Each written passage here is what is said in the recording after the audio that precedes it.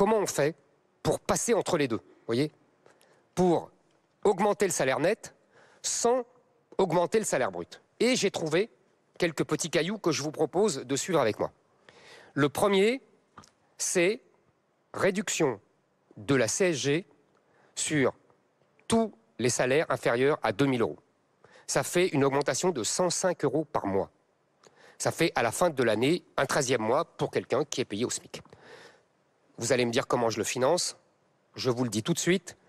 Je supprime les prestations sociales, ce qu'on appelle non contributives, hein, c'est-à-dire le RSA, les allocations familiales, les allocations logement aux étrangers. Ça me rapporte à peu près 20 milliards et avec ça, je finance largement ma mesure. Deuxième mesure, le fameux, vous vous souvenez, le travailler plus pour gagner plus de Nicolas Sarkozy. Je le reprends à mon compte. C'est-à-dire que les, les heures supplémentaires seront payées intégralement, sans charge, sans impôt. Troisièmement, vous connaissez le principe de la participation voulu par le général de Gaulle il y a longtemps. Seulement, franchement, c'est hyper compliqué. Euh, on comprend rien. Euh, il faut des conditions sans fin pour toucher l'argent. Il faut faire un troisième enfant. Il faut acheter un appartement. Il faut, enfin, un truc incompréhensible.